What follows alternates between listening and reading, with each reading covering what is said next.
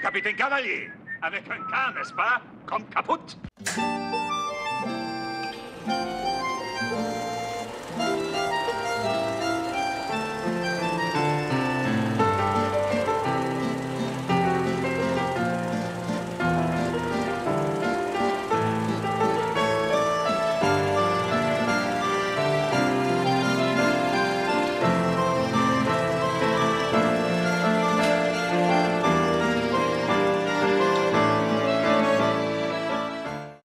Bonjour à tous et bienvenue dans la caverne du ciné, je suis ravi de vous retrouver pour cette nouvelle vidéo.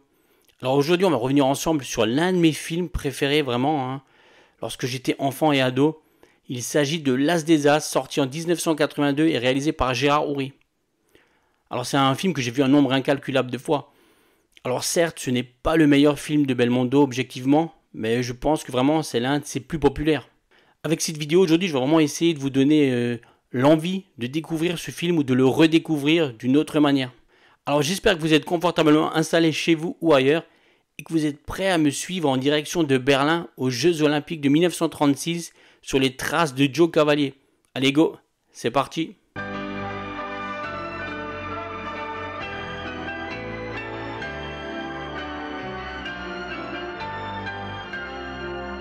Alors l'As des As, c'est quoi? C'est une comédie d'action franco-allemande euh, coécrite et réalisée par Gérard Houry, sortie en 1982. On suit les aventures de Joe Cavalier, entraîneur de l'équipe française de boxe aux Jeux Olympiques de Berlin. En voulant protéger un enfant juif dont la famille a disparu, il met le doigt dans l'engrenage qui va l'entraîner dans la plus folle des aventures à travers l'Allemagne de 1936, engendrant poursuites, arrestations et fuite vers l'Autriche pour finalement tomber nez à nez avec un certain Adolphe. Alors à sa sortie, le film a connu un grand succès commercial, hein, totalisant plus de 5,4 millions d'entrées en salle. L'As des As est tout simplement le second plus gros succès de Jean-Paul Belmondo au box-office, derrière Le Cerveau. C'est également le deuxième film euh, du box-office français en 1982, derrière un certain E.T. bien sûr. Mais comme souvent à l'époque, l'accueil critique est plus contrasté, surtout hein, pour les comédies populaires.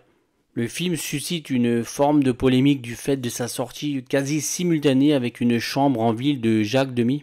Ce dernier long métrage auquel l'accueil critique, enfin l'intelligentsia, avait fait un triomphe unanime, s'avère être un cuisant échec commercial, alors que le film de Gérard au contraire, lui, remporte un grand succès.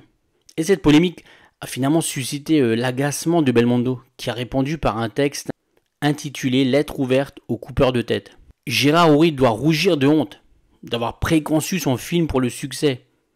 Jacques Demy a-t-il préconçu le sien pour l'échec?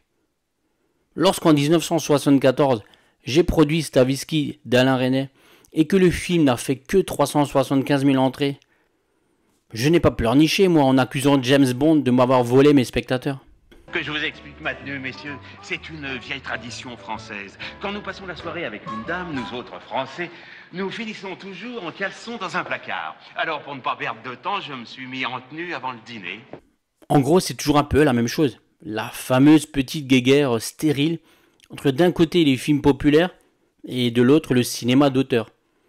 Comme si l'un était du vrai cinéma et l'autre de la bêtise que les gens vont plébisciter en salle. En 1980, Gérard soumet à Jean-Paul Belmondo l'idée d'une comédie autour de la boxe au temps du nazisme.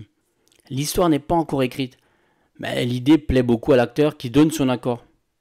Quelques mois plus tard, Belmondo est emballé par le scénario coécrit par Gérard et sa fille Danielle Thompson. Si l'on ne déteste pas le paradoxe, on peut affirmer que L'As des As raconte une histoire vraie, à ce détail près que tout a été inventé. Il coproduit le film et renonce intégralement à son cachet parce qu'il a le désir de stigmatiser sous le ton léger de la comédie l'antisémitisme et l'intolérance. L'As des As est donc réalisé par Gérard Rouy, que l'on connaît bien sur cette chaîne. J'ai notamment déjà parlé de, La Grande Vadrouille ou du Cornio. Houry l'un des maîtres de la comédie populaire et du box-office euh, qui avait déjà réalisé le film Cerveau avec Belmondo. Je dois dire que l'on retrouve euh, indéniablement sa patte dans ce film, notamment par des petits détails hein, comme les déguisements, euh, le changement de pancarte qui indique l'Autriche et, et, que de ce fait les protagonistes prennent la mauvaise direction, la séquence avec les pneus sur les moteurs allemands, et oui, cette fois, ce ne sont pas des citrouilles. Bref, il a vraiment son propre style, Et il a toujours su faire des films populaires qui régalent toute la famille. Niveau casting, on retrouve donc un Belmondo qui nous livre une sacrée performance. il est tout à fait lui dans ce film, en pleine forme du début à la fin, et il enchaîne les cascades sans sourcier. C'est vraiment impressionnant. Et je trouve que son jeu d'acteur est très fluide. On sent vraiment qu'il se sent à l'aise et qu'il prend énormément de plaisir à tourner ce film. Nein. Ich bin ein ami. Am Freund vom General von Beckermann. Stand. On a également Frank Hoffman qui interprète euh, l'ami allemand de Joe. Refusez de vous battre? Bon. Alors comme ça. Allez, on peut y aller maintenant. Et bien sûr, le jeune Rachid Ferrache, dans le rôle du petit Simon Rosenblum, qui a formé un excellent duo avec Belmondo. On sent vraiment la complicité entre eux deux. Eux qui sont restés en très bon contact après le film.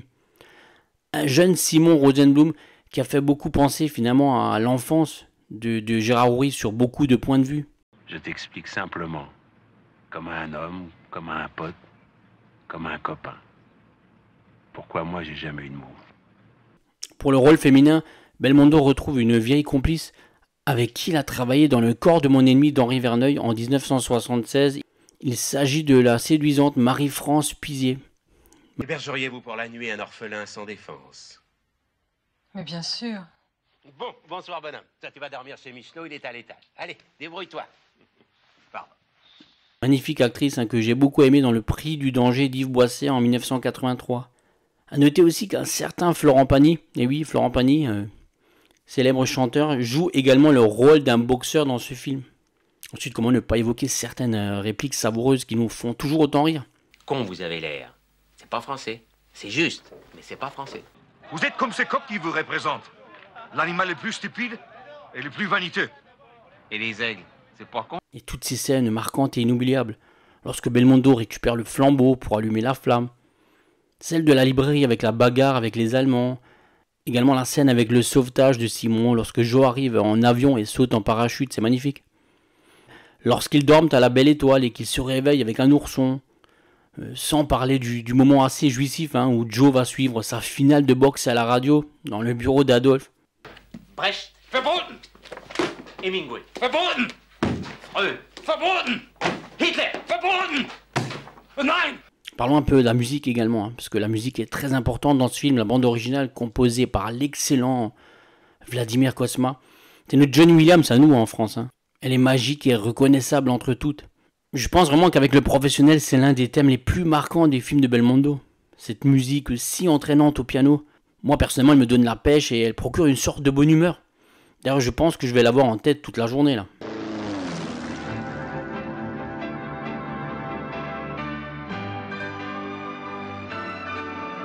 Alors le tournage débute au printemps 82 et va durer environ 14 semaines. Les scènes aériennes sont réalisées à l'aérodrome de la Ferté-Alais en France. Toutefois, l'essentiel du film est tourné en Allemagne et surtout dans le studio de la Bavaria à Munich. Et le tournage se termine ensuite à Berlin. A noter que Belmondo était très impliqué hein, depuis toujours dans le monde de la boxe. Et il a absolument tenu à ce que la plupart des boxeurs de l'équipe olympique soient interprétés par de véritables boxeurs.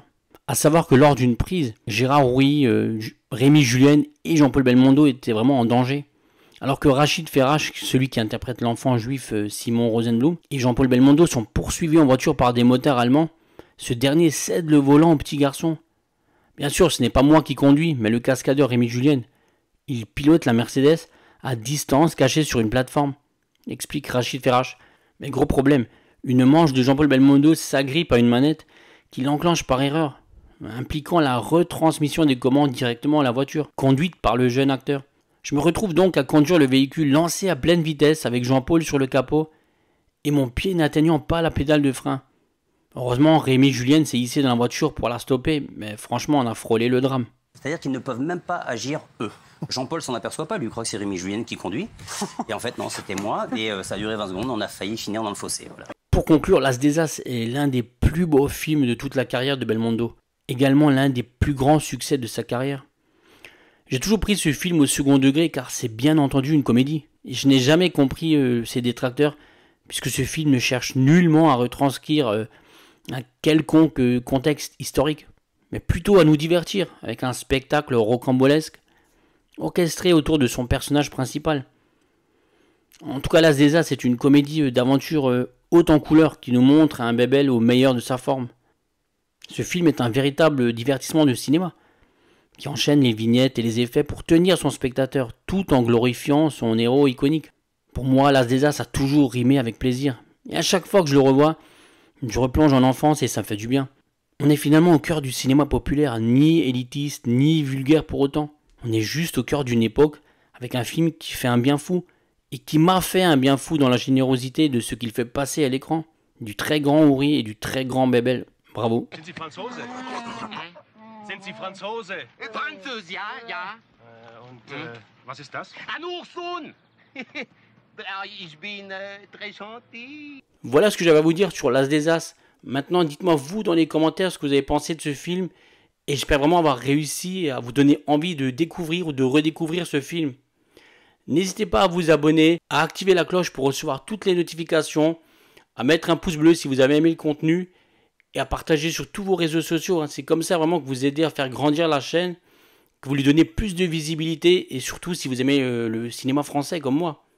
Moi je vous dis à très vite pour une prochaine vidéo dans la caverne du ciné. Je vous embrasse, allez, ciao